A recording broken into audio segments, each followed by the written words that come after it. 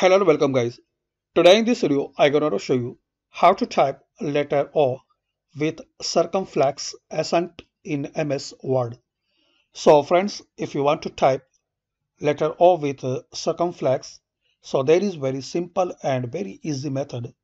Press on your keyboard Control plus Shift plus uh, caret and press O.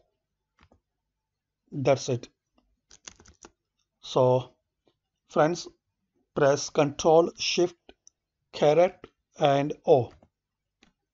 So we can type O letter with uh, circumflex. And friends if you want to use mouse so click on insert then click on symbols now click on more symbols so friends in symbols dialog box.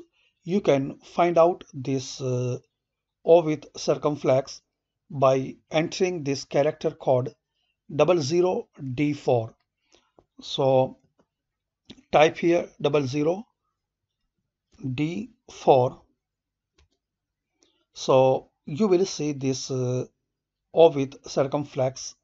Just click on insert.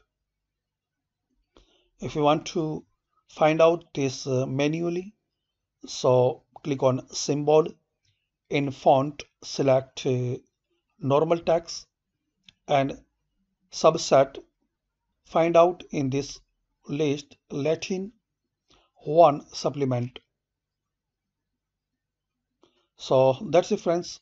By this easy and simple method we can know how to type letter O with circumflex accent in MS Word.